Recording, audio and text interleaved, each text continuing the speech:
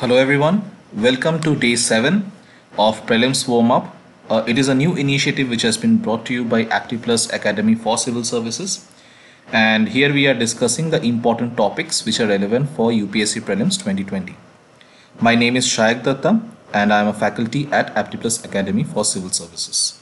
So let us start with the first topic. The first topic or the first question is with regards to Jal Shakti Abhiyan and there, there are four statements given. First statement is it will be implemented in two phases during the period of the southwest monsoon and also during the period of the northeast or the retreating monsoon. So this is the first statement. The second statement is it comes under the ministry of agriculture and farmers welfare.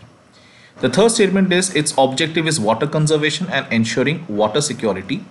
And the fourth one is it will focus also focus on the promotion of on the promotion of efficient water use for irrigation and better choice of crops through the Krishi Vigyan Kendras. So regarding this Jal Shakti Abhiyan, uh, India being a hot monsoonal type of country, so India India's climate, if you see it's hot monsoonal climate that India has. So one very characteristic feature of this hot monsoonal type of climate is that uh, almost 80 to 85 percent of the total annual rainfall takes place within a span of 100 days during the year. So during a very short period of the year you will have extremely heavy rainfall whereas during the other times of the year the rest of the year the rainfall will be less. So this particular uh, initiative is mainly for the conservation of uh, water especially harvesting of rainwater. So naturally whenever there is excess amount of rainfall that water needs to be conserved so that it can be used later on and that is why we have this particular initiative. So the first statement given okay it is it will be implemented in two phases. One during the southwest monsoon and also during the northeast or the retreating monsoon. So the first statement is actually correct. Second statement it comes from the ministry of agriculture and farmers welfare. So an aspirant if he has he, he or she has not gone through this though might be a little confused okay, because why are we trying to conserve water? We might be trying to conserve water in order to ensure that irrigation can be done throughout the year. But the thing is this particular uh, initiative it comes under the ministry of jal shakti not ministry of Farm, agriculture and farmers welfare. So the second statement is incorrect. The third statement is of course correct and so the and uh, also the fourth statement. So out of the given statements given four statements first statement is correct second statement is incorrect third and fourth statements are also correct. So your answer should have 1 3 and 4 and that is in option C. So option C is the right answer. I mean it comes under the Ministry of Jal Shakti. And if you want to read more about it you can visit this particular link of PIB which I have included so that you get to know more details regarding this particular scheme. It's important for the upcoming prelims. Now moving on to our next question. The next question is with regards to mitochondrial replacement therapy it involves the replacement of nucleus from the mother cell by the donor cell. This is the first statement. Second statement is both mitochondria and nucleus of a cell, both of them will contain DNA. First, uh, third statement is that in India, recently we get, get to see the first three-person baby was born. And the fourth statement is that this method is used to prevent certain inherited diseases in the baby. Now to understand this you have to first understand that this second statement given is actually correct. Okay, both mitochondria as well as nucleus of a cell it will contain DNA. Now what happens is let's say uh, an would-be mother uh, who has some kind of genetic uh, diseases which can be inherited by the soon to be born baby. So it is possible that this mother in order to ensure that the baby does not inherit such kind of diseases uh, she can go for this mitochondrial replacement therapy where what will be done is that defective uh, mitochondria of the mother will be replaced by a healthy mitochondria from the donor. Okay? So we have the mother who will be contributing the nucleus. So actually the first statement is incorrect. So it is not the replacement of the nucleus from the mother cell. Rather uh, the mother cell will contain the nucleus. It is the replacement of the mitochondria of the mother cell by another healthy mitochondria by uh, healthy mitochondria from a donor who does not have the disease. Okay? So first statement is incorrect because it is not the replacement of nucleus rather it is a replacement of mitochondria. Second statement as i have mentioned is actually correct. The third statement ke in India recently the first three person baby was born that is incorrect because this entire uh, method of uh, mitochondria replacement therapy or three person baby it is very controversial because uh, what happens is since you see there is a there is a mother there's a father and also there is a third donor also who is contributing the healthy mitochondria. So later on it might lead to paternity issues. There might be uh, controversies with regards to whom the baby actually belongs to. And apart from that we also get to see that uh, we are not really sure about the long term impact health impact on the baby okay so what can be the long term health impact? And sufficient number of studies have been done on animals but we don't yet have sufficient number of studies done on human beings as such so we are not aware about the long term impacts. Plus we'll also get to see okay in certain religion this is something which is considered to be a taboo that three people together producing a baby and hence there's a lot of opposition there's a lot of controversy with regards to this particular therapy but it is true if this therapy is used then it can help to prevent inherited disease in the baby. okay so the first statement is incorrect the second statement is correct the third statement is also incorrect. Actually it was in Greece uh, where we get to see that three-person baby was born. And the fourth statement is actually correct. So your correct answer is uh, it should have uh, statement number 2 it should have statement number 4 so that is present in option C so your right answer is option C and I have given a short note on mitochondrial replacement therapy but I would also suggest that you go ahead and read a little bit regarding a three person baby a bit more in details. Moving on to the next question. The next question is with regards to some settled uh, international principles for water sharing. So here you have four principles which have been mentioned and all of these are international principles with regards to the sharing of international rivers. When i say international rivers i mean to say those rivers uh, which cross the national boundaries. okay they will flow in multiple countries not just in one single country. So something like the brahmaputra you can think of. So first statement or the first type of first principle that is there it is called as Harmon doctrine. And it postulates that every state is sovereign in its water resources and has the right to do whatever it likes within its territorial jurisdiction. So this particular statement it is or this particular principle it is saying that so long as a river is within a particular country that country has the full right to use that river water in whichever way they want to without any consideration for the other countries into which that same river might flow into. So this is one of the principles. Basically you have to you have to see whether the definition has been given correctly or not Second uh, principle which has been stated is Helsinki rules which states that okay, this Helsinki rules it lays stress on the need for equitable utilization of international rivers. Now please note it is not saying equal, it is saying equitable. There is a difference between equal and equitable. When we say equal, it means in equal amount. Whereas when we talk about equitable, it means proportionate. Which means, let's say uh, an international river is flowing through three or four countries, but out of them, maybe there are the countries their sizes will vary okay? So there are very large countries and there are large countries and there are small countries and there are tiny countries okay? Through which the same river is flowing. Now the thing is okay, these countries they can use the water of the river but the division should not be equal. It should be equitable which means that it should keep in consideration or it should be according to the population which depends upon the river water. It should be in accordance to let's say the um, uh, the amount of area which needs to be irrigated by the river water. So basic thing is there's a difference between the terms equal and equitable. Here the Helsinki rules it is mentioning equitable not equal. The third statement Campo, uh, Campion rules it outlines the need to include the water of an aquifer that is the underground water or fossil water while determining reasonable equitable share.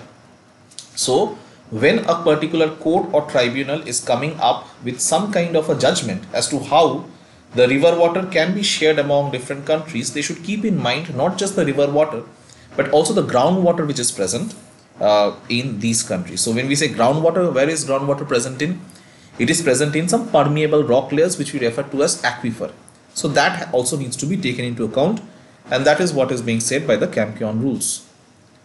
And the fourth one, the fourth uh, principle is the Berlin rules which provides that basin states should manage the water of an international drainage basin having due regard for the obligation not to cause significant harm to the other basin states. So it is asking the countries to be responsible and to understand that not only that particular country but the other countries will also require the river water and hence not to exploit it or over exploit it. And you have been asked to choose which out of them has been correctly defined. Now why this particular question? This particular question because we get to see that there, for a very long period of time there was a long standing dispute. Something which was with regards to the Kaveri river water sharing dispute right? Between the various states through which the Kaveri will flow.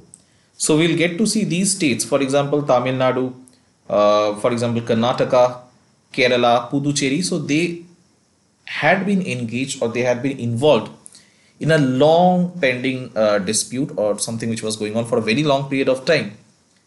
And against that dispute, we see the uh, Kaveri Tribunal, they had come up with a judgment in 2007, which was again challenged in the Supreme Court. Finally, Supreme Court came up with a judgment in 2018, and when they had come out with the judgment, they had invoked these uh, international rules which are there with regards to the sharing of international river water.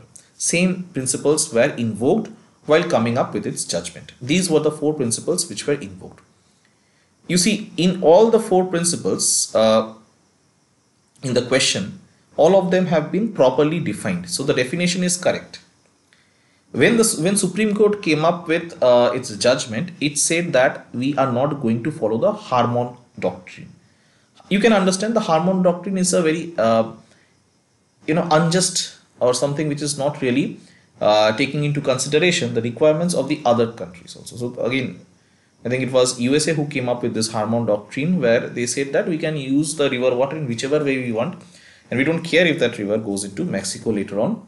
Uh, so something like this. So Supreme Court said that we are not going to use this doctrine because it is unjust. It is unfair.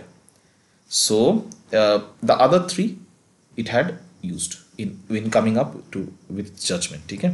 But anyway, when it comes to the definition, all the four have been properly defined. So your answer should be A all of the above. Acha, coming to question number 4 which is with regards to constitution amendment bill so more or less a simple question let's see first statement is it can be introduced in either house of the parliament second statement it can be introduced only in the lok sabha third statement if sponsored by a private member the bill will first have to be examined and recommended for introduction by the committee on private members bills and resolutions Fourth statement, no constitutional amendment in India has taken place by a private member's bill. The first statement is saying can be introduced in either house of the parliament. So if you have uh, gone through Lakshmikant properly, uh, then you should be aware that the first statement is actually correct. Second statement, it can be introduced only in the Lok Sabha, so automatically that becomes incorrect. The third statement is if sponsored by a private member, the bill will first have to be examined and recommended for introduction by this particular committee which is called as Committee on Private Members Bills and Resolutions. That is also correct. Fourth statement which says that no constitutional amendment has taken place uh, by a private member's bill. Uh, now that is incorrect, right? Because we'll get to see K earlier these two constitutional amendment. One is the 26th constitutional amendment and the other is the 61st constitutional amendment. So 26th and 61st constitutional amendments they had taken place uh, because of a private member's bill. So the fourth statement is also incorrect. So first statement is correct, third statement is correct. So they are present in B. So your right answer should be 4B. Yes. Moving on to the last question for the day. We have a question with regards to market intelligence and early warning system again if a person is aware if a person has come across this particular uh, initiative then it is possible to answer otherwise there is a definite chance of getting confused over here why let us see the statements which have been given it will give early warning about pandemic developments which could affect the stock market around the world understood so automatically like we can see right now okay, how covid-19 it is causing havoc across the world's market maybe we are in for a global recession once the situation normalizes. So there'll be a recession again hitting the entire global economy. So first statement is saying it will give early warning about pandemic developments which could affect the stock market around the world. Second statement is saying it's an initiative which is launched by the collaboration between the Ministry of Finance and the Ministry of Health and Family Welfare. So there is a high chance that if an aspirant has not studied about this market intelligence and early warning system, then that person will automatically go for C, 1 and 2. Let us see the third statement. It, is, it will give early warning about climatic disasters which could impact the markets. So there is also another chance of this also being correct. Now fourth statement is saying it is related to Operation Greens. So you see here it is difficult to make an educated guesswork. Uh, either you know it or you don't. So let us understand the first statement is incorrect. Nothing regarding pandemic. Similarly, the second statement launched by the collaboration between the Ministry of Finance and the Ministry of Health and Family Welfare that is also incorrect. In fact, this particular initiative it has been launched by the Ministry of Food Processing Industries. Okay, so this is incorrect. The third statement uh, it will give uh, early warning about climatic disasters that is also incorrect. Fourth statement is actually correct. It is related to Operation Greens, which is basically another initiative uh, which is with regards to uh, the prices or which is with regards to three crops. One is tomato, one is onion, the other is potato. Here, when we are talking about market intelligence, we are talking about the normal agricultural markets which are there.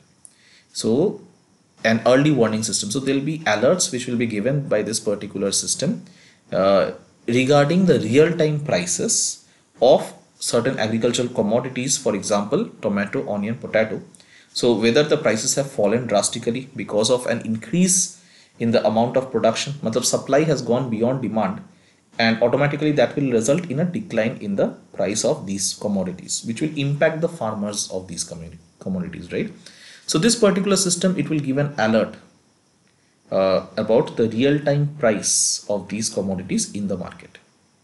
So fourth statement is actually correct. The other three are incorrect. And if you want to know and you should ideally know more about this particular initiative so i have uh, mentioned this particular um, link over here of pib so we get to see union minister of food processing industries. She had launched uh, this particular initiative called as market intelligence and early warning uh, system which is a web portal and it will give alerts about the real-time prices of uh, tomato onion potato. Okay? Uh, and you can read up more about this operation. So you have to read both. About this early warning system plus also you should know about the operation greens as well.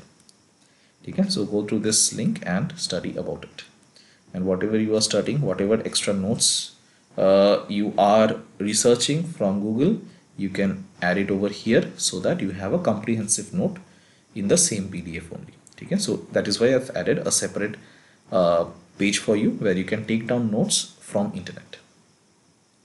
So with this we will uh, close today's session and we'll come back again with another set of new topics in our next lecture. So till then see you and uh, take care and stay safe. Thank you so much